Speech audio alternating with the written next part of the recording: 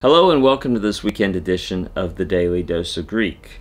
Maybe you know that in the late 1800s, the early 1900s, there was a lot of excitement about all the papyri that had been discovered and were being translated, the Greek papyri, and so New Testament scholars became aware of this just vast wealth of material uh, that helped inform the New Testament. So vocabulary words that beforehand were um, people thought, well, that's used kind of strange, or this is, you know, a unique divine Greek usage. They became aware, wait, there's this huge body of everyday literature in Koine Greek through thousands of letters and shopping lists and and land contracts and and and this mirrors the language of the New Testament. How helpful it is to have all these materials.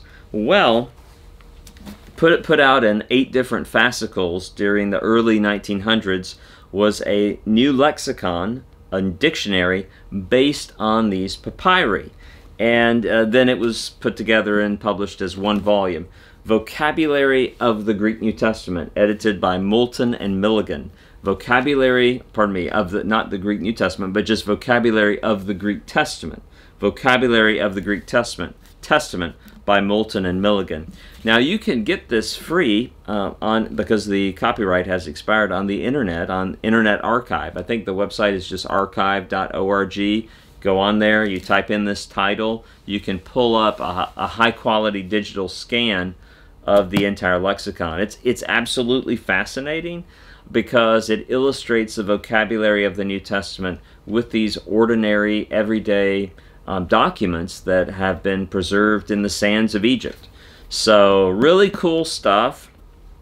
Um, this uh, this one volume I think was published in 1930, and some people say, well, what about papyri since then? You know, the papyri that continue to be published, inscriptions, other things that illustrate the the language of the Greek New Testament. Well, there is a series published by out of Macquarie University in Australia it's entitled New Documents Illustrating Early Christianity.